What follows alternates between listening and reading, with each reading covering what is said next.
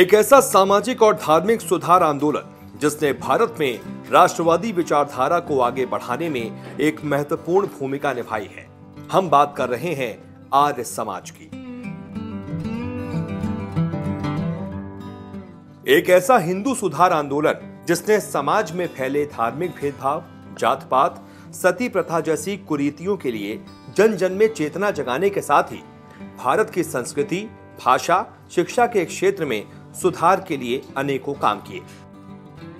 आर्य समाज की स्थापना स्वामी दयानंद सरस्वती जी द्वारा 10 अप्रैल सन 1875 ईस्वी को मुंबई में की गई थी। जब 19वीं शताब्दी में हम अपने संस्कृति को पश्चिमी सभ्यता से कमतर समझते थे, तब एक ऐसे महान पुरुष का अवतरण हुआ जिन्होंने हमें आत्मसम्मान और पुनर्जन्म का मार्ग दिखाया। हम बात कर रहे हैं आधुनिक भारत के महान चिंतक और महान समाज सुधारकों में से एक, स्वामी दयानंद सरस्वती जी की।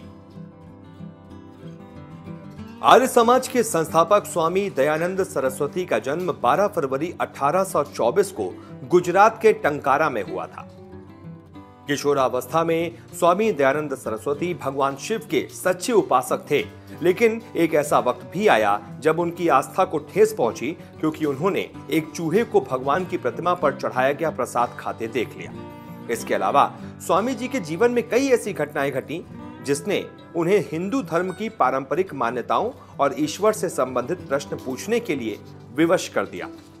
एक संपन्न परिवार से आने वाले स्वामी दयानंद सरस्वती ने बचपन से ही कई धार्मिक ग्रंथों, शास्त्रों और संस्कृत भाषा का अध्ययन शुरू कर दिया था। लेकिन एक ऐसा वक्त भी आया जब स्वामी जी ने अपनी सारी सुख सुविधाओं को त्याग कर एक सन्यासी के रूप में हिमालय के पर्वतों में तपस्या करने का निर्णय लिया। करीब 25 वर्षों की तपस्या करने के बाद स्वामी जी ने पूरे देश में भ्रमण किया और आर्य समाज के ज़रिए कई समाज सुधार कार्यों को आगे बढ़ाया। देखते ही देखते संपूर्ण देश में आर्य समाज की शाखाएँ खुलने लगी। स्वामी जी ने पूरे देश का दौरा करके लोगों को वेदों के महत्व के बारे में समझाया। साथ ही कई धर्म परिवर्तित लोगों को फिर से हिंदू बनने की प्रेरणा देकर शुद्धि आंदोलन की भी शुरुआत की। आपको बता दें कि स्वामी दयानंद सरस्वती एकेश्वरवाद में विश्वास रखते थे और उनके कई समाज सुधारक कार्यों में से बाल विवाह को खत्म करना नारी शिक्षा के साथ ही विधवा विवाह को प्रोत्साहित करना शामिल है। इसके अलावा भी स्वामी जी ने आर्य समाज के द्वारा परिवर्तन के कई कार्य किए।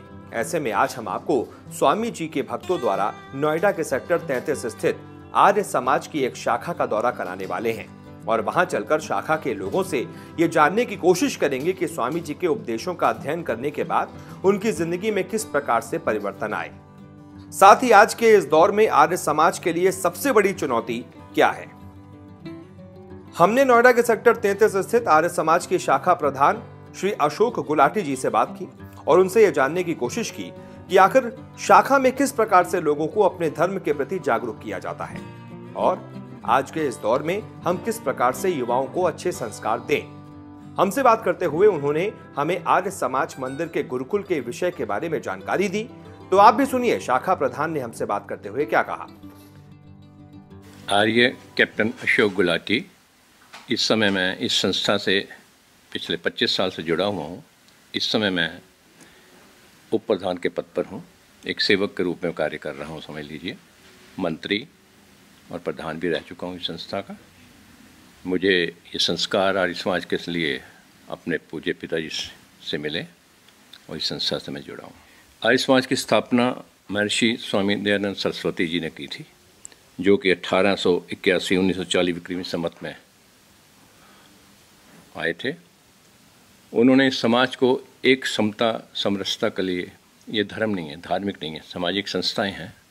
इसने स्त्री उद्धार के लिए, सती प्रथा के लिए, बाल विवाह के विरोध में और मूर्ति पूजा के विरोध में अनेकों कार्य किए।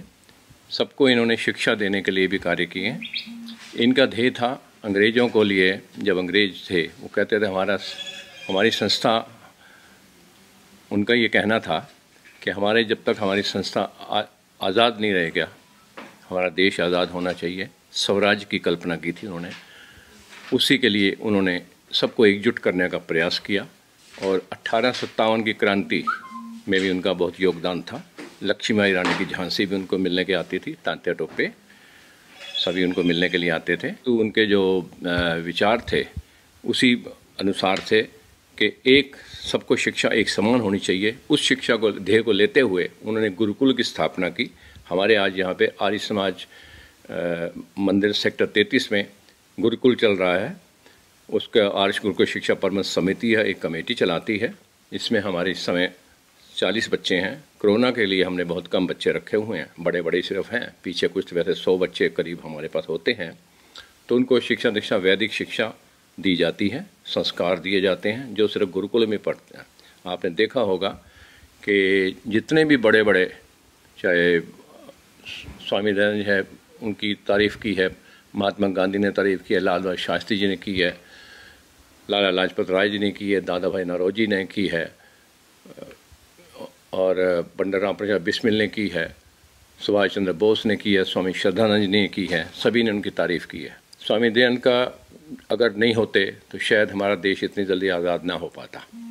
चुनौती यही है कि आजकल वही चुनौती आज जितनी उस समय थी, उससे शायद अधिक मैं समझता हो गई है।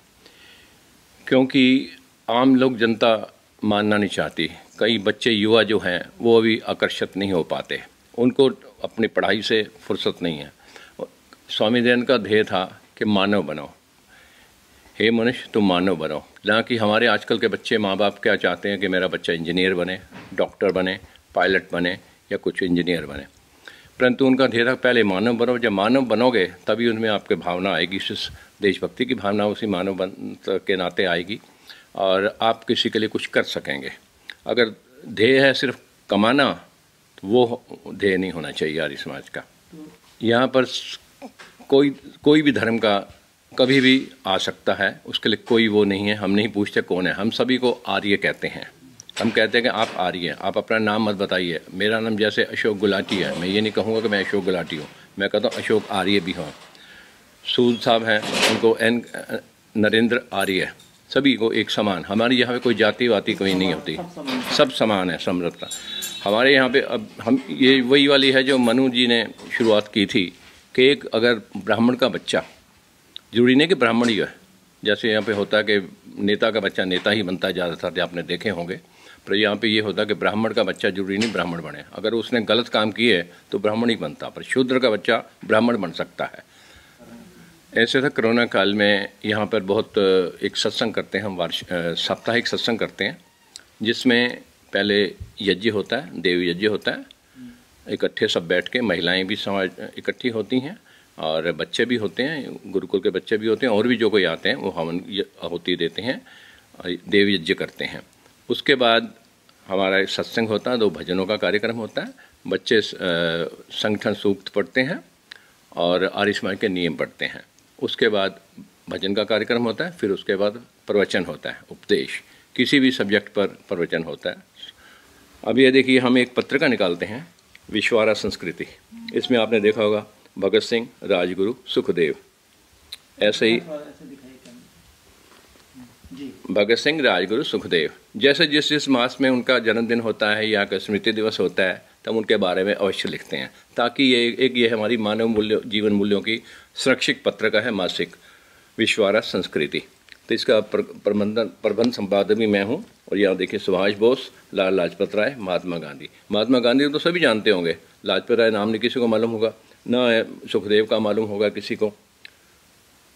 तो ये हम हर समय, हर महीने में इसमें डालते हैं इसमें, ताकि जहाँ तक ये पहुँचे, बच्चों को पता लगे। कुछ कभी ना कभी खोल के अपना आर्य धर्म और संस्कृति के बारे में, जैसे सब लिखा हुआ है। शादी में हम कराते हैं, गरीबों की शादी में कराते हैं।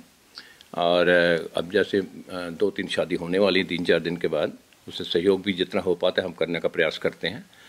ज़्यादातर लोग यही आते हैं कहते हैं जी हमारी शादी करनी है। तो उनके लिए हम क्या करते हैं?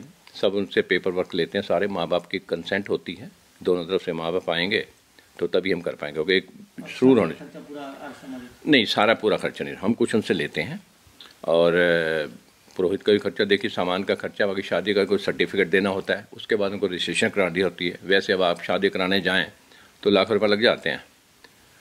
तो हमारी इस संस्था को कोई और आमदनी नहीं है। सरकार की ओर से कोई अनुदान नहीं है। ये सब आप जैसे, हम जैसे, इधर जैसे या होते, उसी से कलेक्ट होता है हमारा।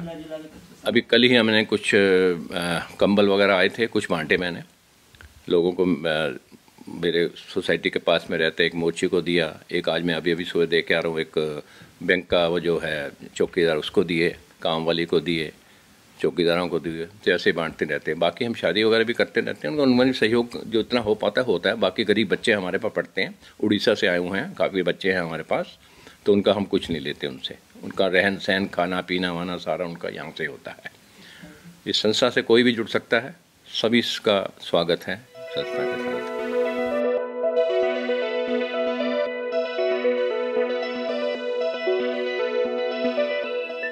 वैसे आर्य समाज की शाखा का दौरा करने के दौरान हमारा कई अद्भुत चीज़ों से परिचय हुआ, जिसे आप इस वीडियो में देखेंगे। शाखा के गुरुकुल में पढ़ने वाले विद्यार्थियों और वहाँ के अध्यापकों से बातचीत करते हुए हमने वहाँ के तौर तरीकों के बारे में जाना और हमने उनसे ये भी जाना कि आर्य समाज की शाखा में उन्हें किस तरह से प्रशिक्षित किया जाता है। मेरा नाम तारचंद शर्मा है, मैं हरियाणा से बिलोंग करता हूँ, पर मैं अभी कुछ सालों से मैं सात वर्ष हो गए हैं। मैं आर्य समाज नोएडा के अंदर रह रहा हूँ और यहीं पर शिक्षा अध्ययन कर रहा हूँ। यहाँ पे अन्य पद प्रधान हैं, हमारे गुलाटी जी हैं, अन्य पद हैं। लेकिन जो यहाँ पे शिक्षा दी जाती है, भारत सरकार द्वारा छठी से लेके जो दसवीं तक की जो यौन शिक्षा, वो तो दी ही जाती है, लेकिन बच्चों को व्यवहारिक शिक्षा भी दी जाती है। वरना पढ़े लिखे आतंकवाद में भी बहुत हैं, लेकिन जो व्यवहार के साथ शिक्षा दी जाती है, वो ये समाज से ही मिलती है। इस समाज का मुख्य उद्देश्य सबकी शारीरिक उन्नति करना है। मुझे मेरे विचारों में मैं गाँव में था तो मुझे बिल्कुल पढ़ना लिखना मेरे मानसिकता मेरे ख़राब हो चुकी थी। लेकिन तब मैं आया मुझे पता चला भाई आर्य समाज ये होता है ऐसे इतने अच्छे लोग होते हैं।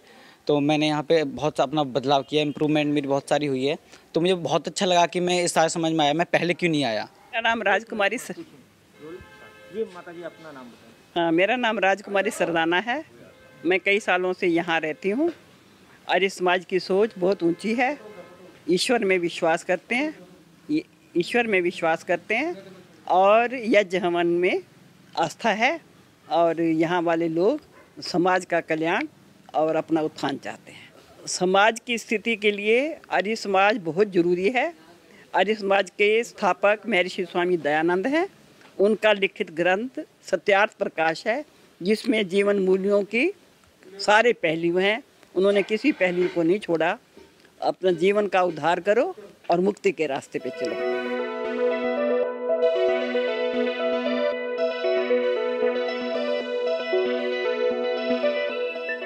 अब आर्य समाज की शाखा का दौरा करने के बाद आपको कैसा महसूस हुआ? कमेंट करके हमें ज़रूर बताइएगा। फिर मिलेंगे किसी नई कहानी के साथ। तब तक देखते रहिए बींग घुमक्कड़